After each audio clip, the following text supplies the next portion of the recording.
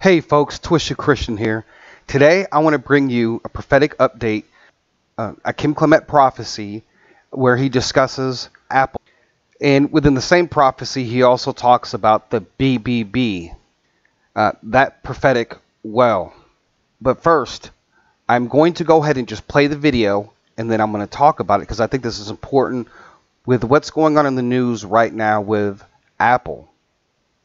You know, it's rightfully so. But the other day I was I was praying, and for those that don't know uh, me, uh, I don't very seldom do I listen to the news. My wife will tell you, my family will tell you, I'm clueless most of the time, and that's because I choose to do that so that if I hear something, it's fresh.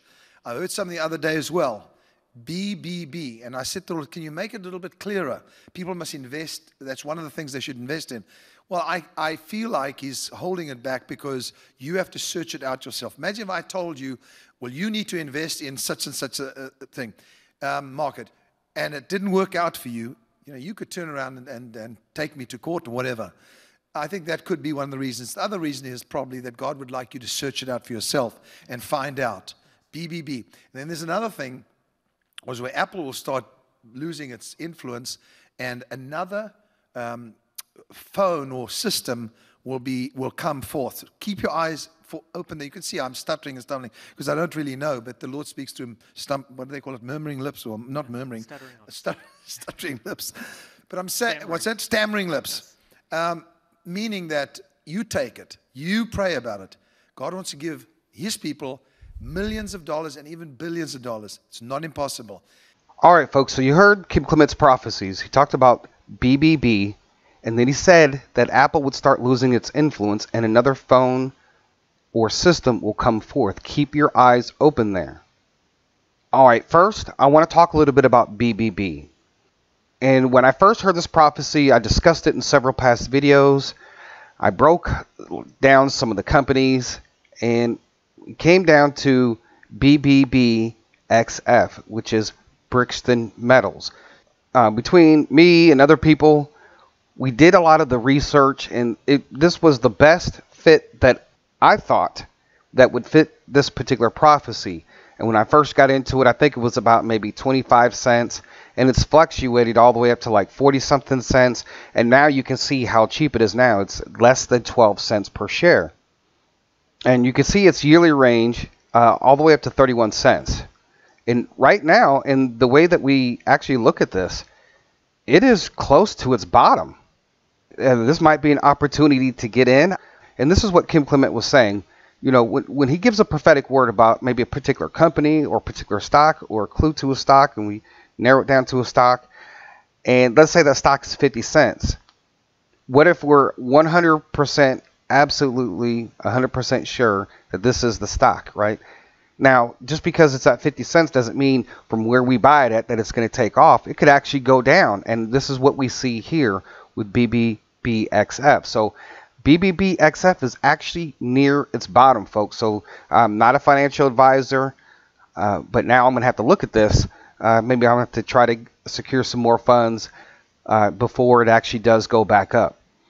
Now, one of the things I do want to share with you folks about the OTC markets, it's a lot more volatile.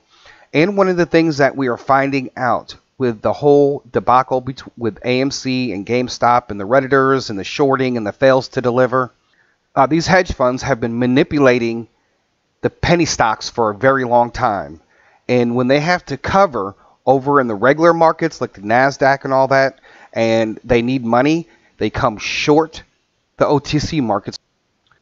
So, one of the things that I did want to discuss with BBB is when you actually do the search, and there's about five stocks in the OTC markets that have the letters BBB. We have BBBXF, BBBT, BBBK, BBBMF, and BBBY. And a lot of times, Kim Clement talked about watching, watching with the eagle eye, keeping your eyes focused. when I go back and look, like there's been plenty of opportunities, especially if you've been swing trading BBBXF. But one of the things that people still come to me and they say, hey, what about BBBT or is it BBBY or is it BBBMF? Well, when you actually look at most of the BBBs, you've actually had a lot of opportunity to actually make money. And I'm, I'm going to show you a couple things here because I'm just going to go over each one really quickly before we get into the whole Apple losing their influence. So we looked at BBBXF. Now, say for instance, we look at uh, BBBY, which is Bed Bath and Beyond, and you see the stock price. It's it's 50. Its 52 week range was twelve dollars. Its high was fifty-three dollars. So there was obviously an opportunity for people to make money. So if you were watching all the BBBs, um, Bed Bath and Beyond was actually one of the squeezes that happened, I believe, in January, February right, where it ran up to $53.90. Right, so people did make money for those who did invest in BBB when it was at its 52 week low and you did sell in the 50s, then you did make some money. And so potentially that what happened before the squeeze, we saw it drop down to uh, the $18 uh, range, or we saw it drop down to the what 17.94, so basically around the $18 range on January 7th, and then it actually skyrocketed to the $53.90 mark and then it slowly descended. So there would have been an opportunity to make money.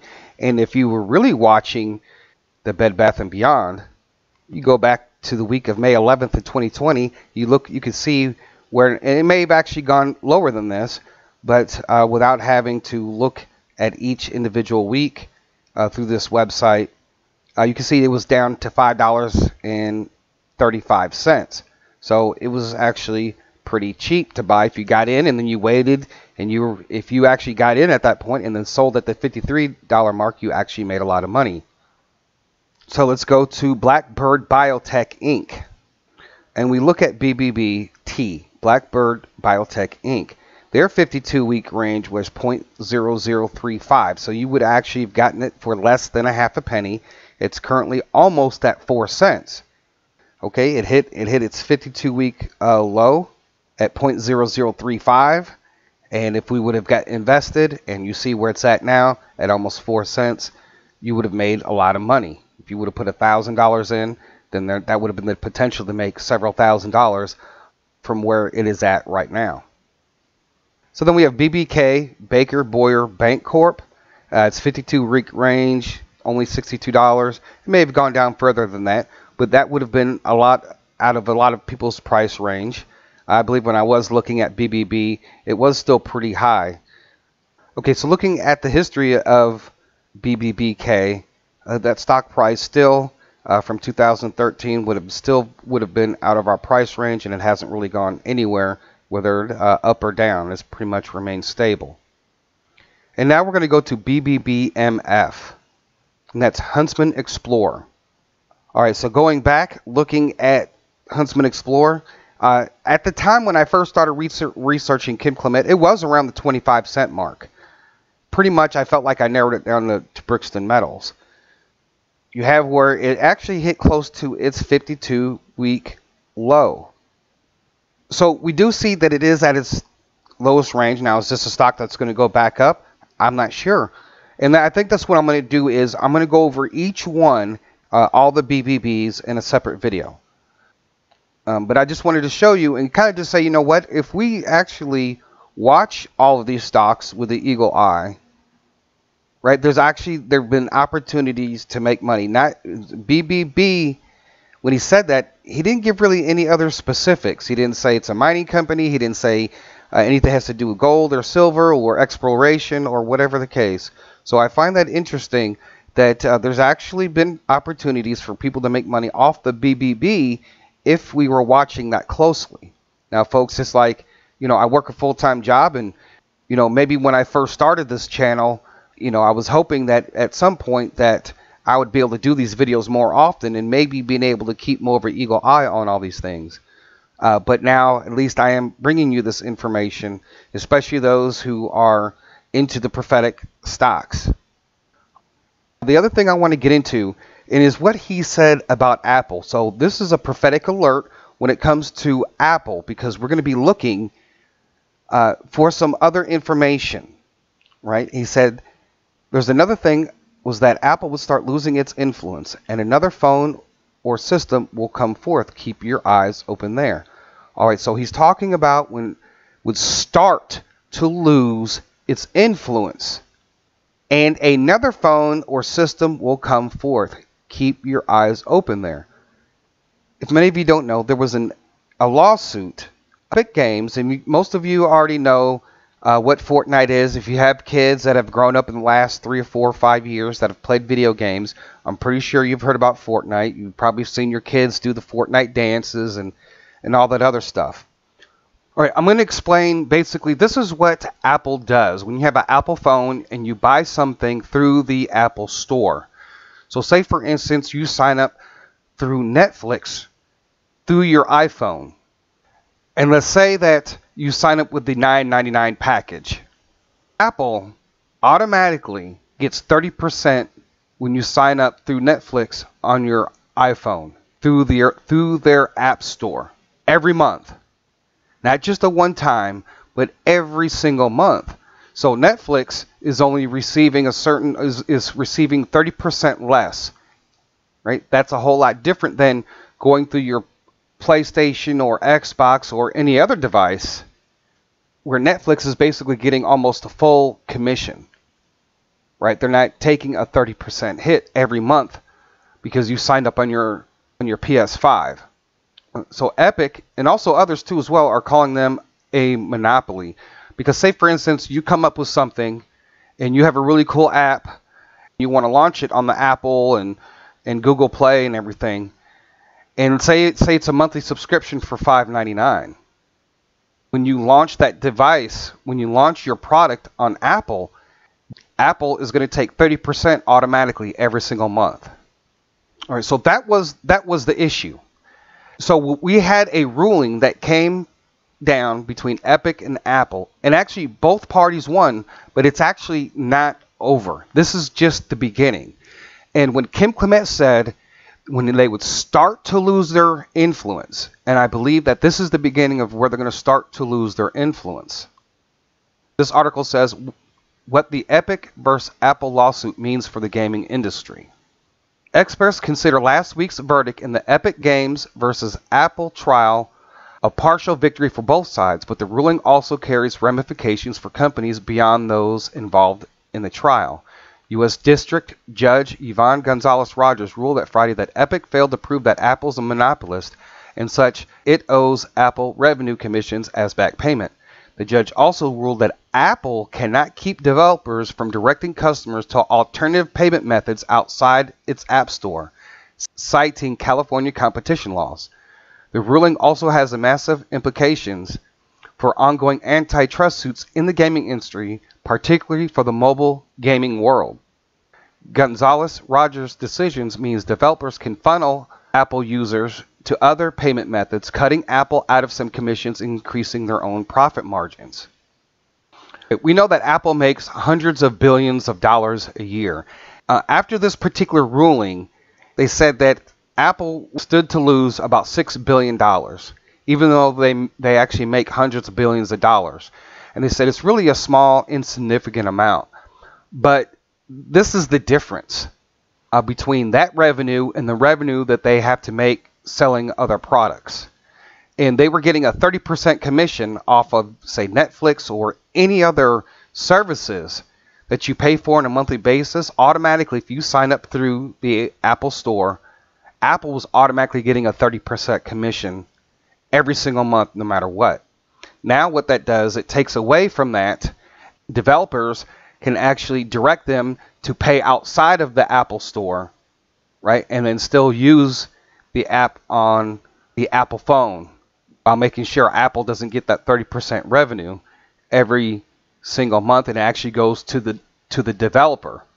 Right now some people say, well, 6 billion dollars out of the hundreds of billions of dollars that they make, it is a big deal because if you if you make a 100 billion dollars in order to make those billions, you had to spend billions.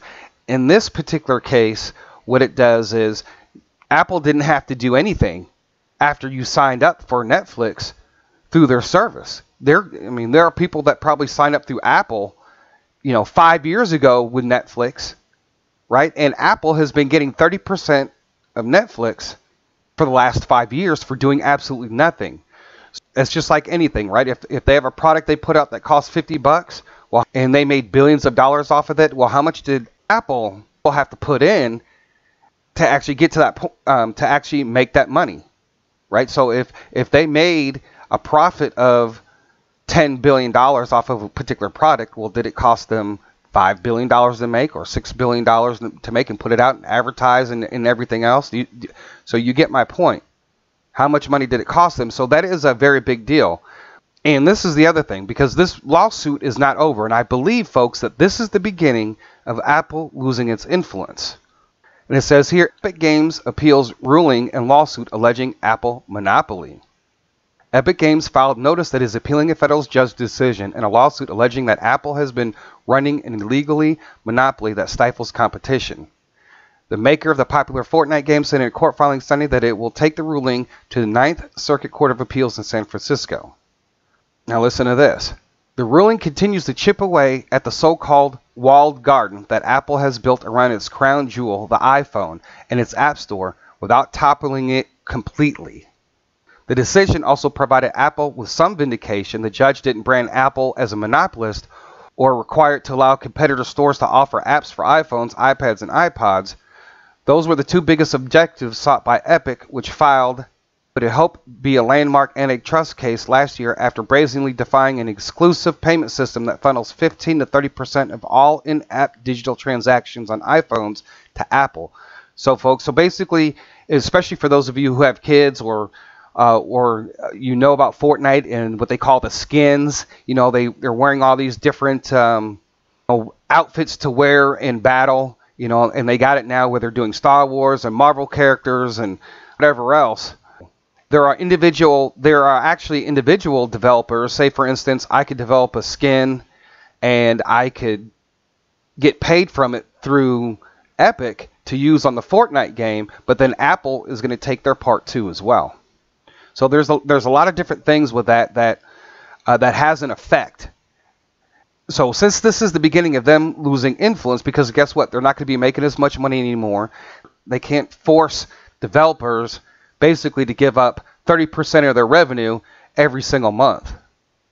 Who knows what the the appeal will bring about? So since there's an appeal, it could change everything, right? But I think this is the beginning. So we need to keep watch of what's going on with the Epic versus Apple lawsuit. I think this is going to be huge down the road. And what did Kim say? That when they begin to lose their influence, another phone or system will come forth. So, you know, what is that phone system, folks? So, if you guys have an idea of what it could be, we already have some existing phone services now, but is this a brand new uh, phone system that, that's going to come up, or is it one that's already been there? So, those are all the things that we got to look at. So, if you guys have any comments, uh, put it down below in the description.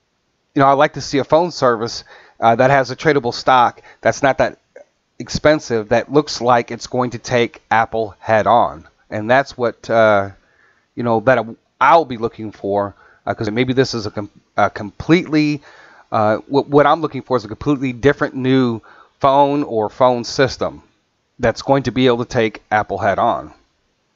So, folks, so this is uh, my current update for the eight wells. We know that Kim Clement had more than eight wells. And so uh, trying to narrow down some of those wells has been difficult. We know what some of those uh, financial wells are. So I'm going to do my best to try to keep you updated. If you guys like these videos, you guys want to support, uh, the support links are down below in the description. Also, too, don't forget to go to the House of Destiny and check out their prophecy page and their videos. Without, without using Kim Clement, we would not be where we are at with many of the eight wells. So and that our time is coming, folks. So just be patient. We're almost there. So I thank you guys for listening. God bless. And with that being said, TC out.